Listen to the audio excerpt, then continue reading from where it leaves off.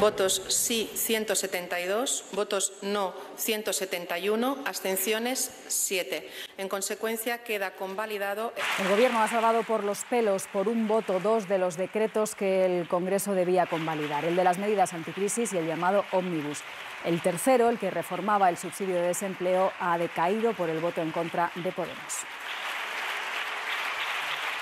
Pues ha sido un pleno insólito en el que se han producido hasta tres empates en las votaciones que han tenido que repetirse. Junts finalmente se ha abstenido y ha salido adelante dos de los decretos. Según los de Puigdemont, ha sido a cambio de varios compromisos del Gobierno. Macarena, habla de nuevo.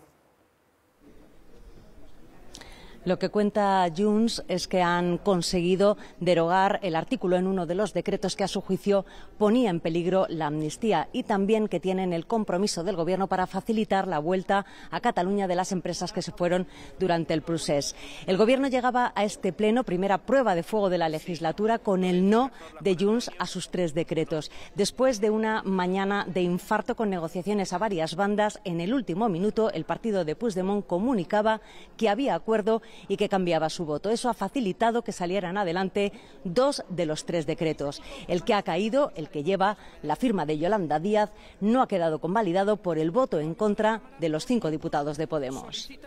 Sánchez acaba de terminar ahora el pleno y a su salida ha dicho que hoy es un gran día, que está contento y ha cargado contra el PP por su voto en contra. Estamos satisfechos desde el Gobierno de España, hemos tenido que trabajar duro, como se pueden ustedes imaginar, pero creo que bien está lo que bien acaba. Y ha acabado con la revalorización de las pensiones, con la bonificación del transporte público, con la rebaja eh, del IVA de los alimentos, también de la electricidad, del gas, eh, con eh, políticas que en definitiva benefician a la mayoría social de este país. Sánchez salva dos de los tres decretos, el llamado ómnibus y las medidas anticrisis. In extremis lo ha conseguido de la mano de Junts, que se ha ausentado en una votación y en la otra se ha abstenido.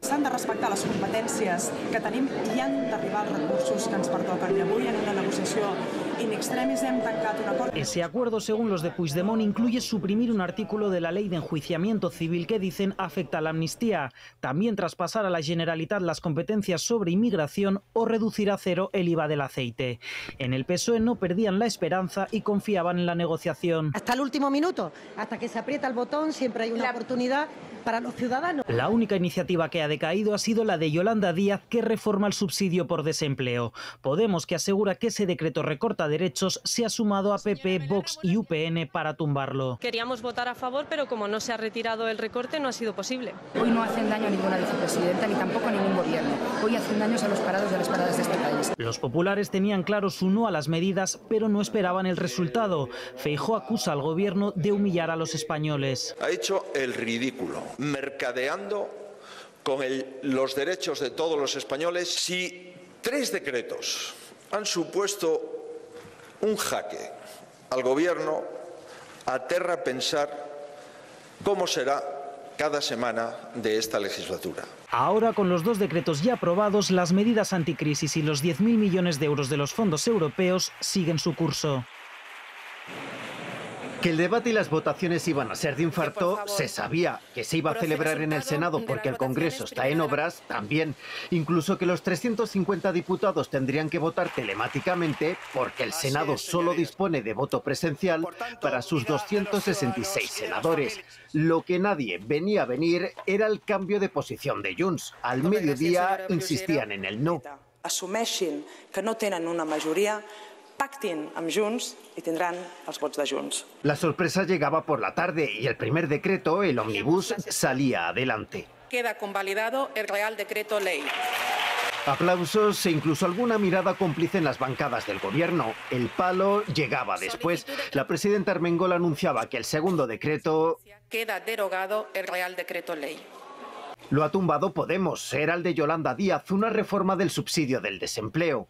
Pero el sobresalto estaba por llegar con el recuento de votos del tercer decreto, el de las medidas anticrisis. Votos sí, 171, votos no, 171. Empate, desconcierto general, alguna risa. El diputado de Sumar, Gerardo Pisarello, no llegó a validar su voto. La votación debía repetirse para desempatar. Partido Popular y Vox piden que se haga por llamamiento, pero Armengol permite que lo hagan telemáticamente los que ya lo habían solicitado. Al repetirse, entonces sí sale adelante. ¿Pisarello Prados Gerardo? Sí.